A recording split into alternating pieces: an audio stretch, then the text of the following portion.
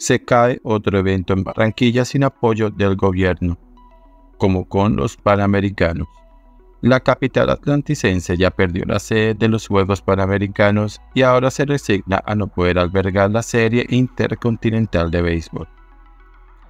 Después de que la negligencia del gobierno le costara a la ciudad la sede de los Juegos Panamericanos, este martes se confirmó la cancelación de otro evento que se llevaría a cabo allí por falta de apoyo, la Serie Intercontinental de Béisbol.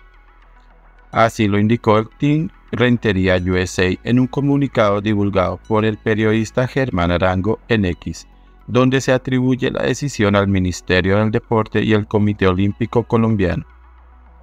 Las ligas, equipos y entes involucrados han manifestado toda su disposición para que la serie se llevara a cabo. No obstante, el Ministerio del Deporte junto con el Comité Olímpico emitieron un comunicado expresando que no era posible otorgar el aval para la realización del torneo, detallaron los organizadores.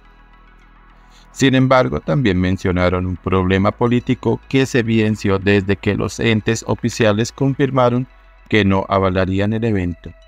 El no reconocimiento al equipo FEC representante de Cuba, que está compuesto por cubanos expatriados. El gobierno habría negado apoyo y aval al evento la semana pasada, incluyendo financiación, poniendo como pretexto que se trataba de un evento privado y no contaba con apoyo de la Federación Colombiana de Béisbol y Softball pero resaltando sobre todo que el equipo cubano no está reconocido por las autoridades del régimen.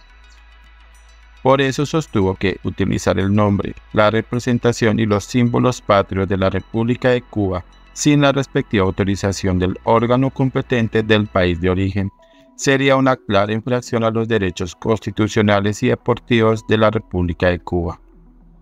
El team Rentería indicó que apoyaría la organización del evento en el lugar que resultara designado y confirmó que devolverá el valor total de la boletería a quienes la adquirieron.